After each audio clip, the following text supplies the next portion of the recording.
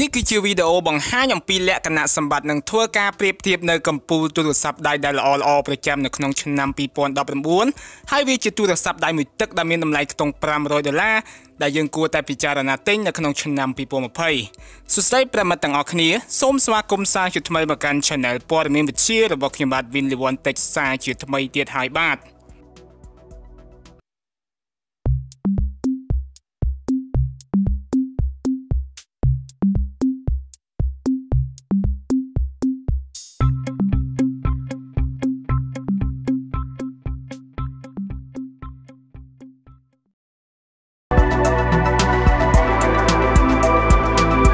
អនុញ្ញាតគ្រប់នឹងជម្រាបសួរពុកម៉ែបងប្អូន Brother and Sister ទាំងអស់គ្នាពិសេសនៅតាមដាននិងគ្រប់គ្រងនៅព័ត៌មានបច្ចេកវិទ្យា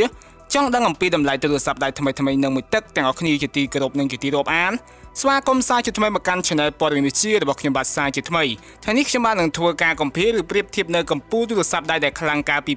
2019ហើយឥឡូវវាជាទូរស័ព្ទដៃមួយទឹកដែលមានលក្ខណៈសម្បត្តិល្អរូបរាងបែបទាន់សម័យស៊ីវិល័យលុយឆាយនិងកម្លាំងម៉ាស៊ីននៅខ្លាំងកាមេរ៉ាក៏អែមជាមួយនឹងកញ្ចប់តម្លៃខ្ទង់500ដុល្លារបាទមុននឹងចូលដល់វីដេអូយើងសូមអ្នកមកថ្មីជួយចុច Sub ដាក់សញ្ញាកណ្ដឹងឲ្យខ្ញុំបាទម្នាក់មួយផងតោះយើងទៅមើលអំពីលក្ខណៈសម្បត្តិរបស់វាទាំងអស់គ្នា Let's go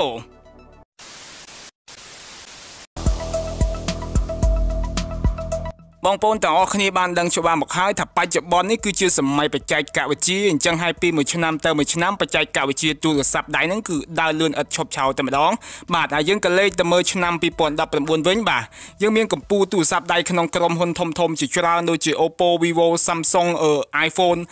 Google អីហ្នឹងគឺគាត់បញ្ចេញទូរស័ព្ទដៃរៀងៗខ្លួនសិតតែជាកម្ពុជាទូរស័ព្ទដៃដែលខ្លាំងខ្លាំងបាទឥឡូវយើងបែរមកក្រោយមួយឆ្នាំទៀតខ្ញុំនឹងនិយាយអំពីលក្ខណៈសម្បត្តិនិងតម្លៃទូរស័ព្ទដៃមួយទឹកបាទគឺវានៅស្អាតស្អាតដែរទេកាលពីឆ្នាំ2019មកតឥឡូវវាគឺមួយឆ្នាំហើយប៉ុន្តែវានៅតែជាកម្ពុជាទូរស័ព្ទដៃដែរខ្លាំងខ្លាំងបាទវាមិនដល់2020ប៉ុន្តែគ្រាន់ថាកញ្ចប់តម្លៃរបស់វាស័ក្តិសមជាមួយនឹងការជ្រើសរើសបាទល្អល្អសម្រាប់ការចង់បានរបស់យើងហើយទី1នេះខ្ញុំសូមនិយាយអំពី Samsung Galaxy Note 10 5G បាទ Note 10 5G នេះគឺវាមានលក្ខណៈសម្បត្តិល្អដែរជាមួយអេក្រង់ខាងមុខប្រភេទ AMOLED ពេញគែមទំហំអេក្រង់6.3អ៊ីង Resolution គឺ Full HD+ កាមេរ៉ាខាងក្រោយដល់ទៅ3គ្រាប់គឺ12 megapixel 12 megapixel និងមួយគ្រាប់ទៀត16 megapixel ទូរស័ព្ទដៃ Samsung Galaxy Note 10 5G នេះត្រូវបានបំពាក់ជាមួយនឹង Android 9.0 Pie អាប់ដេតមកកាន់ Android 10.0 One UI 2.1 chipset ជាប្រភេទ Exynos 9825ឬមួយក៏ chip Snapdragon 855គឺជា chip ខ្លាំងកាលពី2019 CPU ជាប្រភេទ octa core រត់ក្នុងល្បឿន 1.9 GHz ហើយ GPU នឹងជាប្រភេទ Mali G76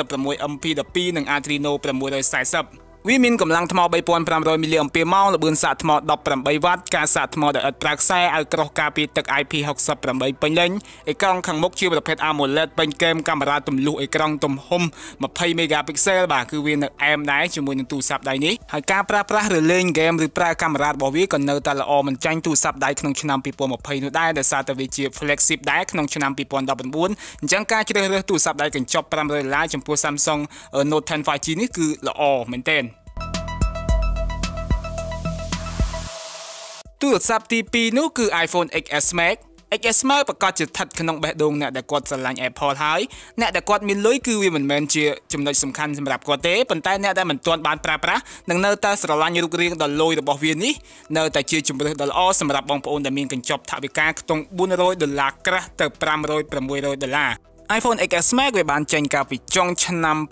2018ដើមឆ្នាំ2019ហ្នឹងបាទជាមួយនឹងកាមេរ៉ាខាងក្រោយដល់ទៅ2គ្រាប់12 megapixel ទាំងពីរបាទអេក្រង់ AMOLED ល្អហើយមាន notch design ជាទូរស័ព្ទដែលបំពាក់ SIM ដំបូងគេបង្អស់របស់ Apple បាទកញ្ចក់ខាងមុខខាងក្រោយគឺ premium ទាន់សម័យបាទការប្រើប្រាស់សម្រាប់បងបងដែលជា fan Apple បាទកាន់ទៅគឺ steel មែនខ្ញុំនិយាយថាអញ្ចឹង iPhone គឺជាទូរស័ព្ទដៃដែលយើងកាន់ទៅ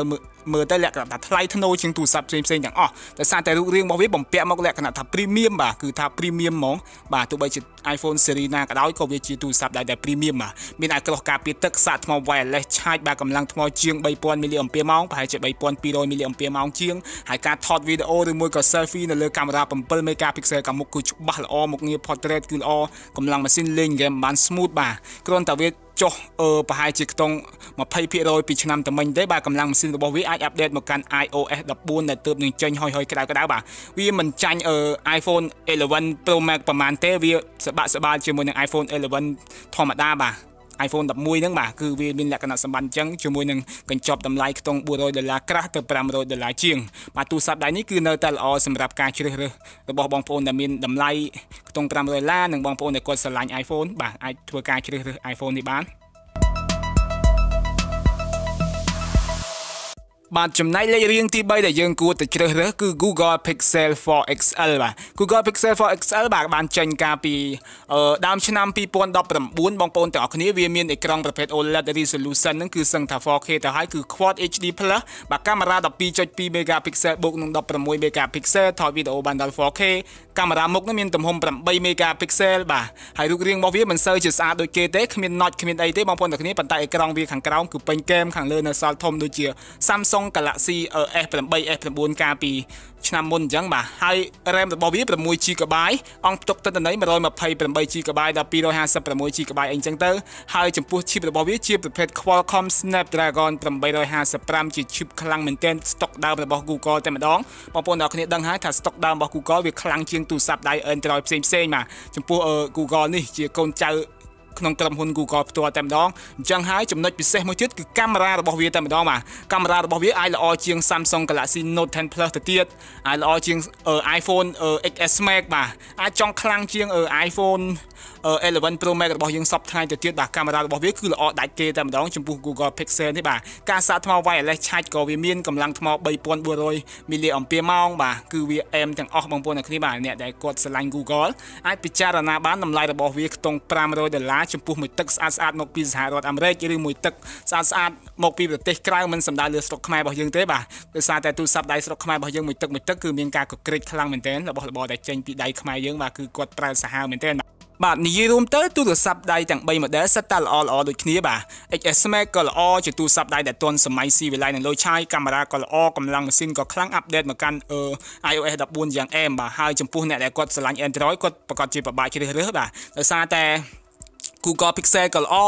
Galaxy Note 10 5G ក៏ល្អប៉ុន្តែចំពោះទូរស័ព្ទដៃ2 model របស់ Android ខ្ញុំ recommend ឲ្យអ្នកទាំងអស់គ្នាសម្លឹងមើលទៅ Google Pixel 4 XL ជាងដោយសារតែ Google Pixel 4 XL វាអាចខ្លាំងជាង Galaxy Note 10 5G បាទវាមិនខ្លាំងដាច់នោះទេប៉ុន្តែកាមេរ៉ារបស់វាក៏រៀងល្អជាងអញ្ចឹងហើយស្តុក Google ដើមរបស់វាកម្លាំងម៉ាស៊ីនក៏អាចខ្លាំងជាង Exynos អឺរបស់ក្រុមហ៊ុន Samsung ថែមទៀតផងបាទតម្លៃរបស់វានឹងគឺខ្ទង់500ដុល្លារបងប្អូនអ្នកគ្នាចង់ជាអាចធ្វើការរកជាបាននៅហាងសឹងថាចង់គ្រប់ខេត្តក្រុងឬនៅទីក្រុងភ្នំពេញដូចជា Sokli Phone Shop ដូចជា Kim Hub Phone Shop ដូចជា Magnetic អីហ្នឹងគឺមានលក់ទាំងអស់បាទឥឡូវខ្ញុំបាទសូមជម្រាបលាបញ្ជួបគ្នានៅវីដេអូថ្មីបន្តបន្ទាប់ទៀតបាយបាយ